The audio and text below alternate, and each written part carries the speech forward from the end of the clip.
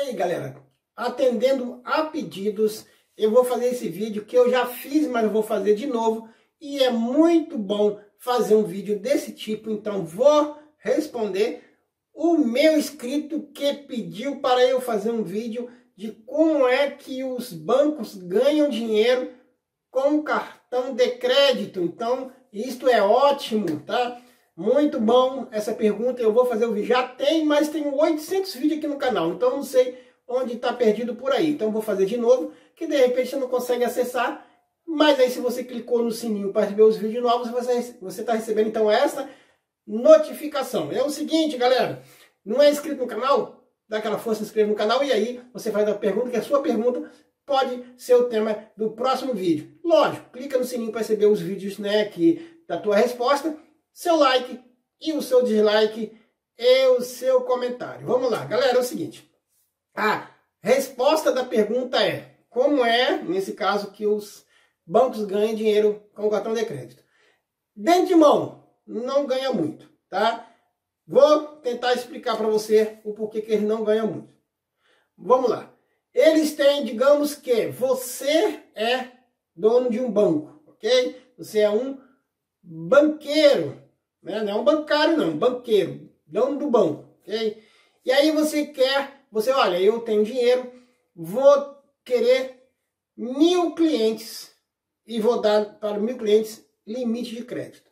Então, para cada mil clientes, você vai dar mil reais de cartão de crédito, tá? Aí você faz aí mil vezes mil, quanto que você tem que ter deixado guardado, ok? E isso tem que ficar guardado mesmo, porque tem muitos clientes que guardam o cartão na gaveta, tem outros que usam 50%, tem outros que usam 100%, tem outros que usam 10%, tem outros que usam 20%, mas vai que todos usam de uma vez esses mil clientes vão usar esses mil reais de limite. Então você tem que ter cash, dinheiro, para cobrir. Porque o estabelecimento comercial ele vai receber, conforme o contrato dele, no máximo, no máximo, estourando 15 dias, ok? Conforme é o contrato dele. Mas muitos recebem no mesmo dia, já cai o valor lá. Então, é o conforme o contrato de porcentagem. Mas vamos lá. É o seguinte, Tá? Taxa no mercado para todos, é, apanhado entre média 4%. Ok? 4%. Tá?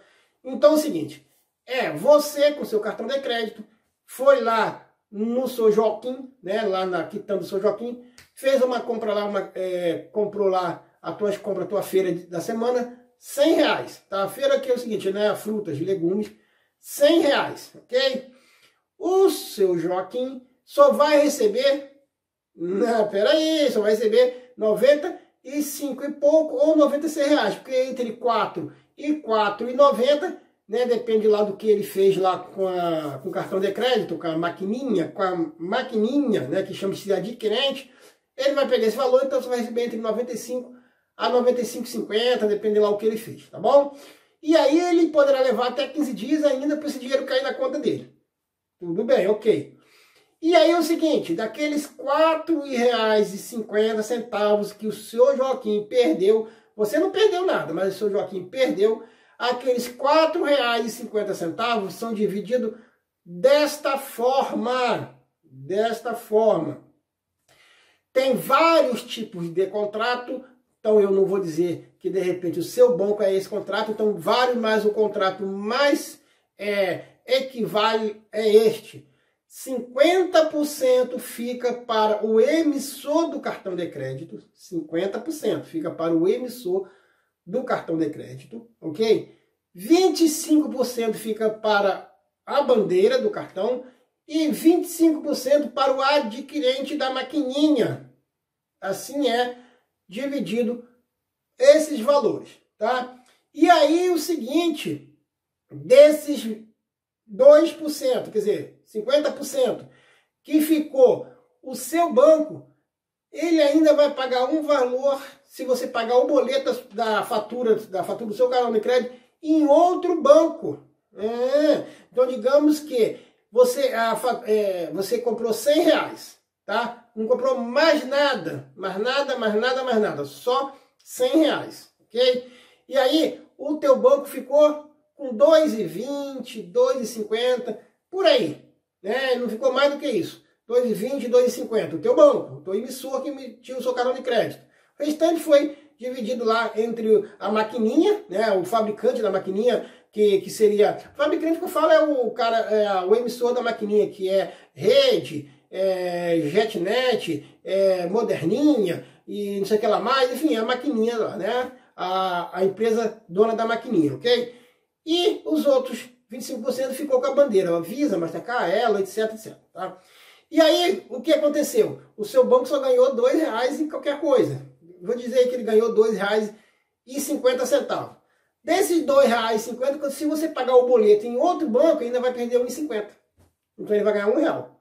Então ele vai ficar 30 dias para receber, ou 40, dependendo do dia que a tua fatura vence, para você, para ele receber apenas um real dos 100 reais que você gastou lá no boteco do seu Joaquim. Ok? Então vocês entenderam? Então nesse caso é isso aí. Não é muita grana que os bancos ganham, não. Tá? Onde é que mais ou menos eles começam a ganhar dinheiro é o sistema não gosta, mas onde eles começam a ganhar dinheiro é quando você fala assim, ah, eu quero parcelar a minha fatura. Não é a compra não, a compra também dá um dinheirinho a mais, mas vamos lá. Ah, eu quero parcelar a minha fatura. Aí, aí que vão ganhar dinheiro, porque vão colocar ali 14%, 20%, dependendo do banco, ali eles vão ganhar dinheiro, porque é uma bola de neve, você um outro mês você não vai poder pagar, vai esperar outro mês, outro mês, aí eles vão te mandar vários e-mails, várias é, informações, oh, você está devendo pagar isso, e aí eles vão ganhando juros ali, que eles vão ganhando mais, ok? E se você parcelar a tua compra, eles ganham também um pouquinho mais, porque é, quando é uma compra parcelada, ok? O, o, a taxa que o, o dono da loja vai perder bem maior, então o banco vai ganhar mais também. Então isso aí é outros dividendos que, nesse caso, também não é tanto mais assim não. Em vez dele ganhar, vamos supor, você foi lá 100 reais, mas o seu Joaquim lá da, da, da quitanda é, dividiu para você em duas vezes. Você vai pagar 50 e 50. Nesse caso ele arcou com a taxa.